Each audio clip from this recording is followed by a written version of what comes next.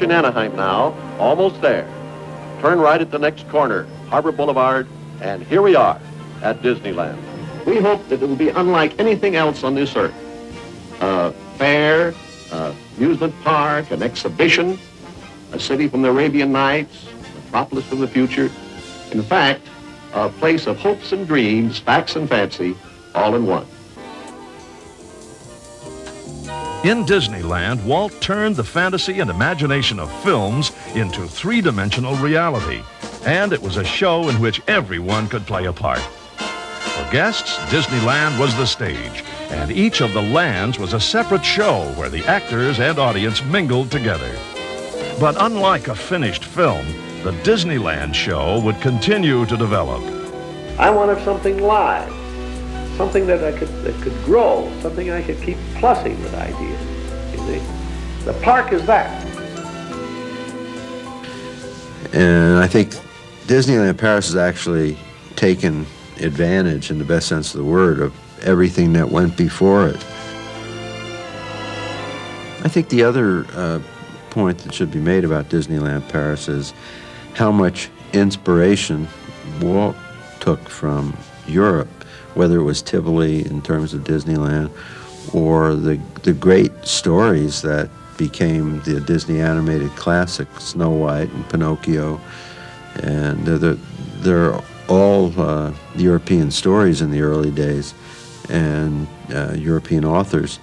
And uh, then for Disneyland, the Neuschwanstein Castle. And I think the idea of Walt taking back Walt, the Walt Disney Company now, taking back to Europe uh, a park that represents, in many ways, so much inspiration that came from Europe was uh, pretty uh, magical in, in a lot of ways and, and makes us all feel good that uh, we were able to do this, I guess, for Walt Disney.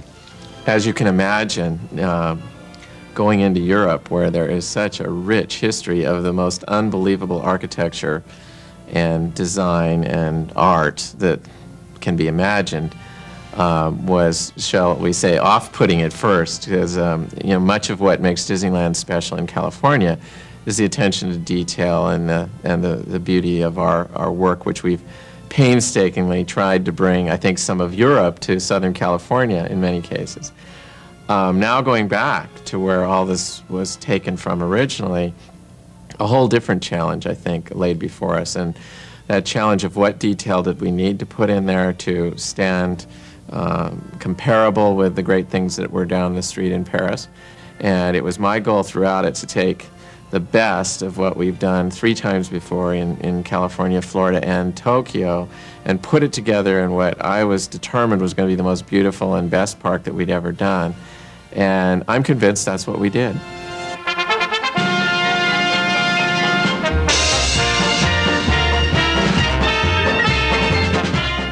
Main Street is an optimistic place. The reason we have a berm around the park is when you go under the train station, and of course, Marty Sklar explains this, and we still have this uh, principle, is that the portals of the railroad station are like the gateways to a movie theater.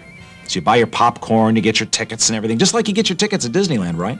And when you pass under those portals, just like going to the seats on the left or the right side of the movie house, here at Disneyland, instead of finding a bunch of empty seats and a blank movie screen, you step through the screen. And that was a responsibility we had, was to put you into the film, to put you into an environment, to create a seamless world. All those main streets share that, and they share an optimistic, uh, imaginative view of the world. When you walk into Disneyland, everything's okay. This is a town that doesn't have any crime. The, the vehicles run day in, day out. All the citizens are happy to see you, just like you're a local.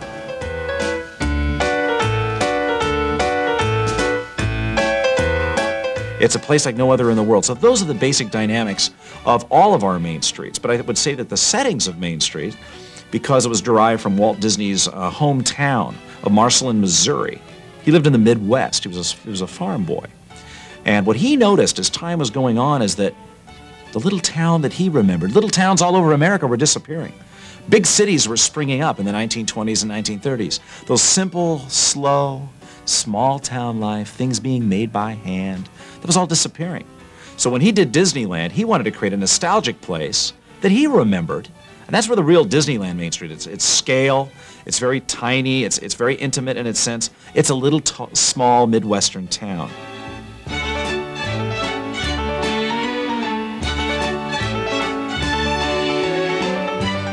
Interesting thing, too, is Walt Disney in the story of Main Street showed, and you'll see this in Paris, too, a sense of transition from gas to electric. But you'll see gas lights on the street and electric lights. It was a city in transition. And I think uh, even the vehicles, you have horse-drawn streetcars. That clip clop sets the tone for it, even in the music that surrounds it. Imagine, you know, Main Street, and you're in the movie now, there's no seats. It has this rich score, so you're hearing the music around you, you can sense the environment. Horses are moving at a slow pace. Um, even the, the engines of the cars, the mufflers we choose to get the vehicles to have the right put, put, put, put, put kind of cute sound to them or charming sound to them. It's all nostalgic. It's not overthought. It has a simplistic innocence about it.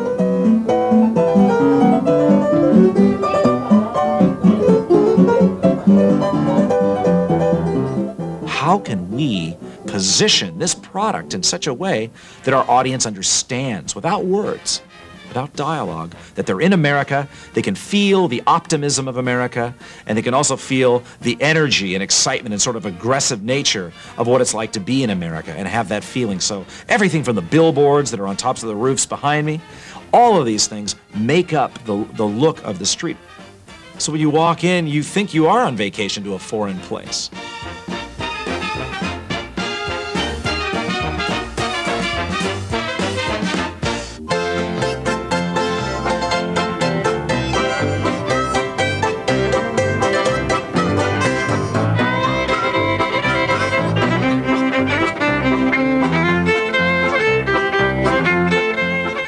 The idea of, of Frontierland in Disneyland Paris is that we wanted to tell a story of the American gold rush. Now, uh, people had heard of the idea of uh, a gold rush, the phenomenon that took place in California in, in 1848, the idea of instant uh, fortune the idea of becoming rich overnight. Stories came out that, that nuggets as large as your fist of gold were being found. A lot of these were, were totally fabricated, but many of them were true. And, and they were true enough to bring much of the world either by boat or traveling across the country uh, by wagon to what started in California and spread throughout the Southwest.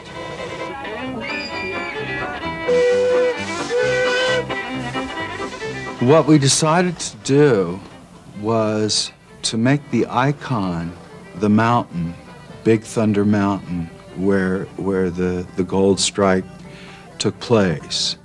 And, and then from the Big Thunder Mining Company, moving out from there, we began to establish where would the different city shops, the, the uh, saloons, the uh, restaurants, uh, how would this have, have uh, evolved in uh, a gold mining town?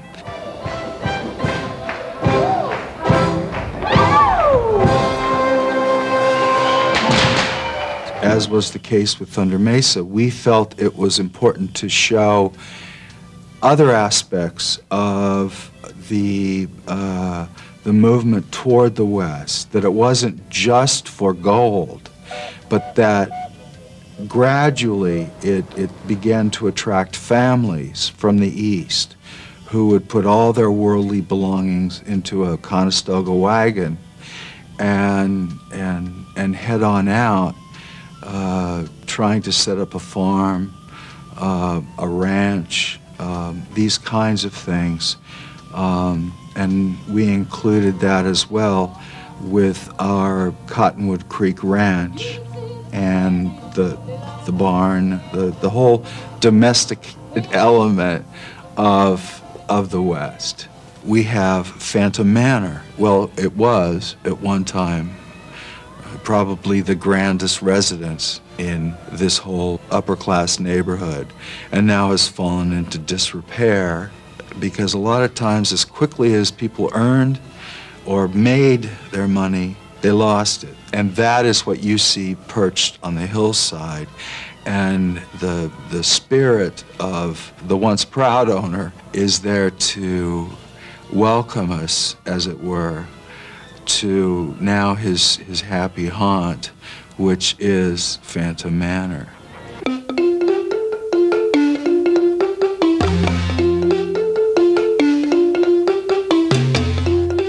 Well, for the whole idea behind Adventureland for Paris, we have to go back to the original Disneyland in uh, California back in the 1950s. Um, at the time, Walt Disney was producing a series of Academy Award winning documentaries called True Life Adventures. And it was from those uh, documentary series films that he pulled some ideas for the Adventureland area. In fact, the original name for that area was going to be called True Life Adventureland, and eventually it got shortened to Adventureland. Adventureland in Disneyland Paris uh, is different from the other Adventurelands existing, the other three, in that number one, it has a major presence on the hub. The uh, other Adventurelands are quite, uh, I would say, understated approaching from the hub. They can consist of a bamboo structure with some palm fronds or something like that and a signage. Um, we wanted a major presence and a portal, an entry, just like Frontierland has next door with their fort, Fantasyland has with their castle. So we uh, created the bazaar. Uh, the bazaar is drawn upon heavily from the uh, Thousand and One Tales of Arabian Nights stories. We wanted to give it a fantasy slant, something we could layer uh, colors and texture and story onto. The original Adventureland was basically themed around the jungle, and uh, for many, many years, that's all that it entailed was, and the uh, Adventurelands that followed for Florida and for Tokyo were pretty much the same jungle theme with uh, very little variance. Um, so when time came to do Disneyland Paris, we wanted to expand that theme, and uh, because adventure uh, encompasses much more than just the jungle, so we have the jungle, of course, but we also incorporated the Caribbean, uh, tropical islands, northern and central Africa, and arid deserts. Um, we just try to get as much fun in that land as we could.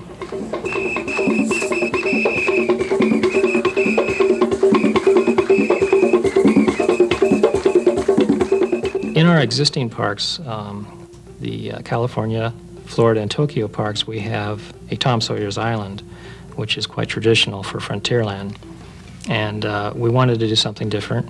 Um, we came up with the idea for Adventure Isle, which uses those elements of Tom Sawyer's Island, the play areas, the caves, the tunnels, the uh, um, fun things to do, and we combined it with some of the other existing um, attractions like the Swiss Family Robinson Treehouse, the uh, Captain Hook's pirate ship, Skull Rock, and it's actually um, based on three Walt Disney movies, the Swiss Family Robinson, Peter Pan, and Treasure Island, all combined to make one attraction.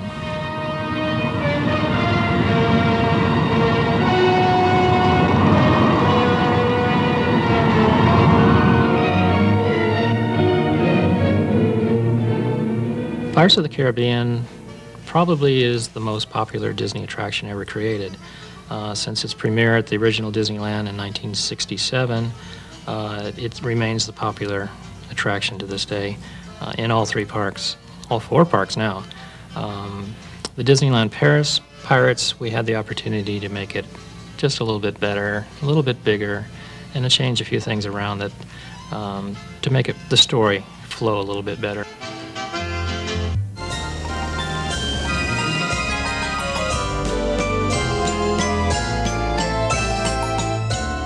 Fantasyland is the land within the Magic Kingdom that celebrates the great classic fairy tales of all time and also the Walt Disney films that feature those very same stories.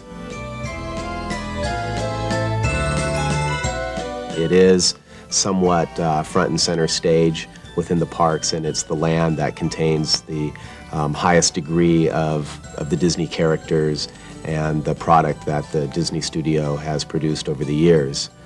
And um, of course, has the castle as the icon and as the main entrance for the land.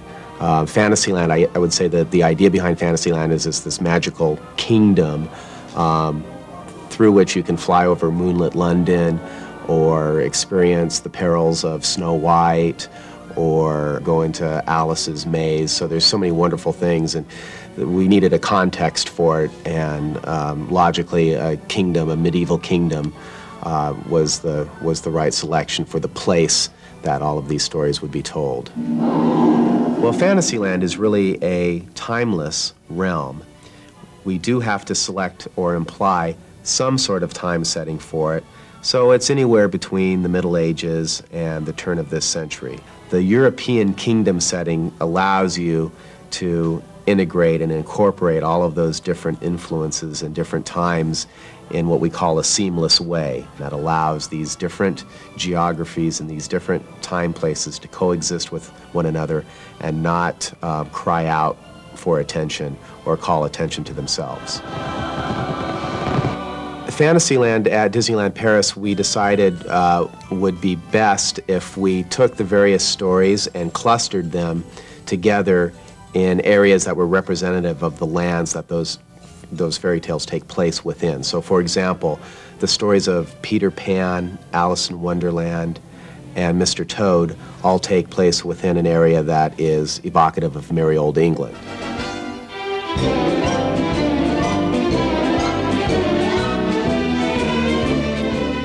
The stories of Sleeping Beauty and Cinderella take place in an area that's evocative of France.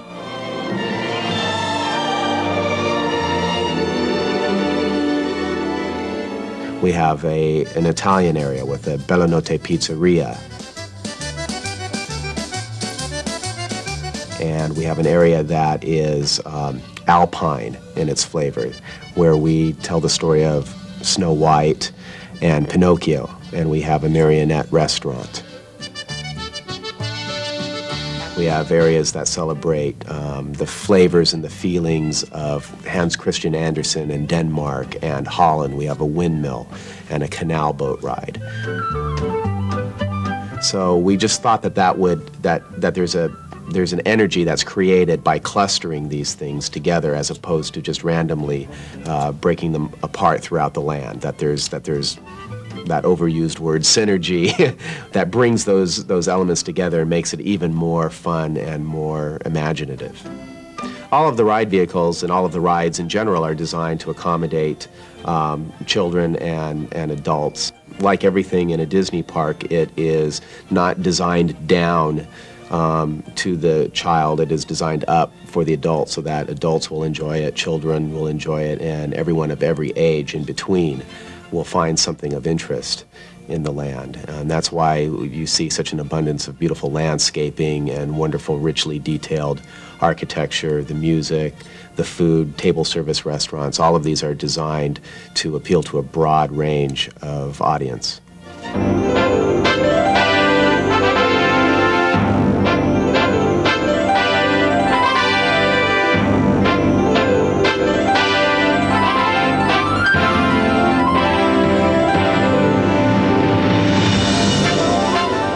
I would say the overall look for Discoveryland is really meant to be one uh, that is timeless. What Discoveryland is, it's an actual collection of different futures. Um, different futures that, uh, that throughout time everyone has dreamed and believed in. So this collection of futures is really what is what makes it timeless. Innovation is really the key of what Discoveryland is all about. So instead of dreaming about the future and calling it Tomorrowland, we decided to dream about discovering new ideas and innovation, and that's why we made the change. The difference between what has been the Tomorrowland and Discoveryland is really is reflected in the name. We wanted to make something that clearly was a unique uh, location. In the 50s, when Disneyland opened, there was always this great dream of the future. There was always this dream of something beyond, tomorrow. You know, it's like someday things are going to happen. Well, there's a funny thing about the future now, in that the future is, is the cliche is the future just isn't what it used to be. So the intent was actually go back to the concept of, of what is really important. And what's important is that man has always dreamed about the future.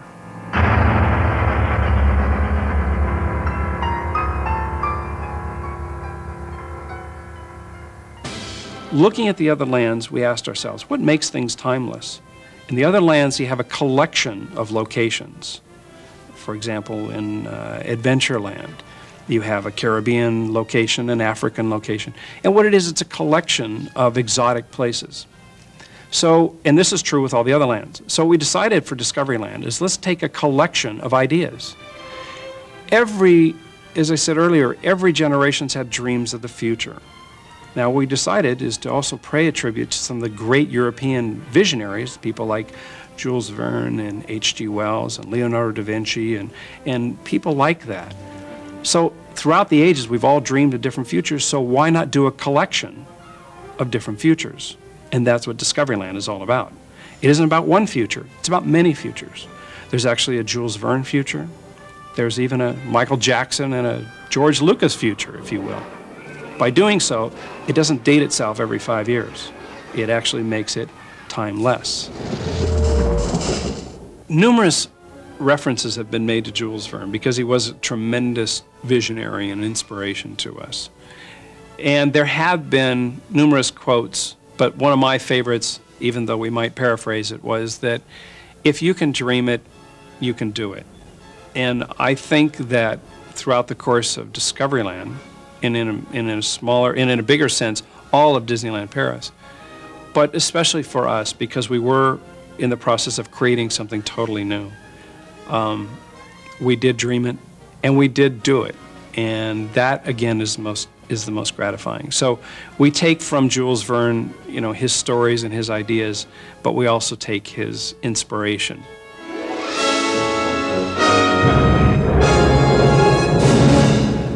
I think one of the most important details that we sometimes overlook in the design end, but I know it's really important on your end, is cast members because literally what they wear, how they conduct themselves, how they continue the experience that they're that we've created in wood and stone and plaster and everything is so important to what the guest takes away. You are the story of what we're doing, and cast members are the actors in the scene. Nobody goes out of a movie theater saying that was the greatest set I've ever seen. Everybody comes out saying, I love the performance. And uh, we at Imagineering um, put our work in your hands to maintain, to keep beautiful, to maintain the concept, the vision, the idea, and the spirit and the smile. And uh, that's what I think it's all about. If you understand the stories and you can keep that story going, we've led the people to the place, we've taken them on an enchanted journey up to your front door, and now you are the host because it's really in your hands.